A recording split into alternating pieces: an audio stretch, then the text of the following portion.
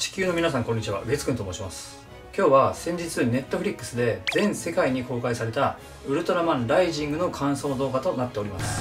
結構公開から時間が経っているとはいえまだ見ていない人もいると思うんですけど今からドヤ顔でネタバレしまくるのでまだ見ていない人はブラウザバックした方がいいです。率直に皆さんどうでしたか？ウルトラマンライジング。皆さんのご意見もぜひお聞きしたいです。ウルトラマンライジングなんですけど今年の1月のウルトラヒーローズエキスポニューイヤーフェスティバルに行った時に見た会場の展示品的なやつ見て初めて知ったんですよね。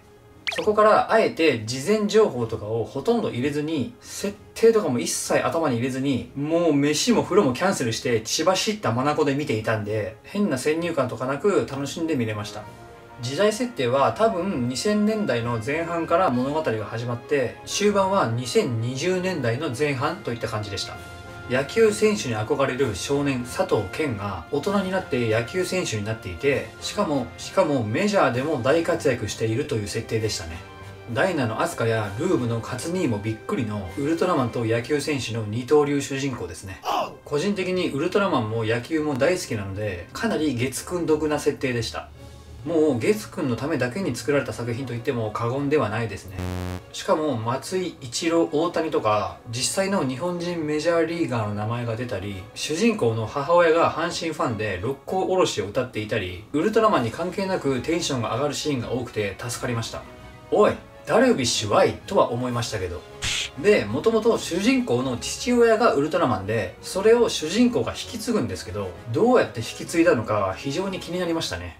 そんで「うわしはもう戦えんから息子に憑依してくれ」みたいな。ウルトラマン本人の人格とか登場していないんでその辺は不明ですね。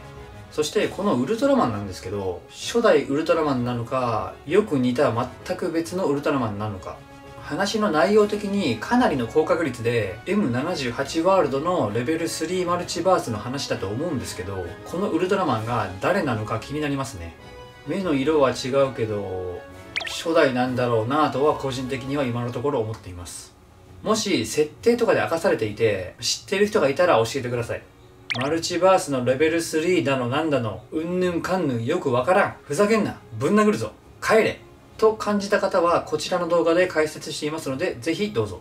登場した怪獣はベムラー、ネロンガなど M78 ワールドの怪獣たちに加えてライジングオリジナルのジャイガントロンという怪獣とその赤ちゃんのエミ。このエミとウルトラマンであるケントの物語がメインで進行していきましたね。やっぱり何といってもこのエミがめちゃめちゃ可愛い。ライジングの一番のまあ見どころというか良かった点かもしれません。エミが可愛すぎる。ゲロ生えてても可愛いですからね。ブレイザーのエミとは別ベクトルで可愛かったです。あとはまあ細かいところで看板にストレージって書いてあったり主人公の父親の車がポインターだったりその他にも多数ウルトラ系の小ネタがギャッツリ詰まっていてそれを見つけるためだけに何回も見たいくらいです。こういうファンサービスはオタクは大好物なので見ていて楽しかったですね。エミとケンの物語が中心になっていくとさっき言いましたけどケンとケンの両親エミとケン。エミと本当のエミの親怪獣。悪役の過去など親子というのがテーマになっているような感じでしたね。それぞれに非常にドラマがあってまんまと感動しちゃいました。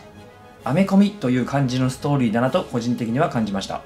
という感じでいいところたくさん言ってきたんですけどまあ正直これがウルトラマンかと言われたらうーんという感じではあります。映像もめちゃめちゃ綺麗ですしストーリーも非常に良くて感動もしますし当然面白かったんですけど良くも悪くもザ・アメコミ作品なんですよね。ウルトラマンの見た目のキャラがアメコミやってますみたいな。これぞウルトラと言えるようなシーンとか展開とかがもう少しあったらなぁとは思いました。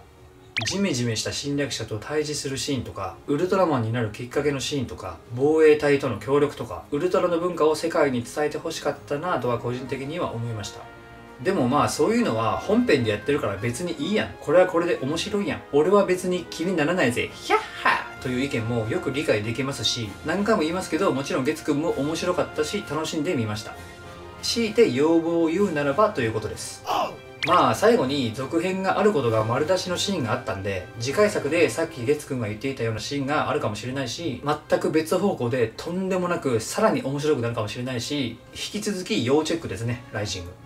どうやら阪神ファンの主人公の母親が M78 星雲にいるっぽかったんで六甲おろしがまさかの M78 星雲にというだけでなんかもう面白いです。という感じでおじさんの感想動画でした。皆さんのご意見もぜひお聞かせください。ご視聴感謝。さよなら。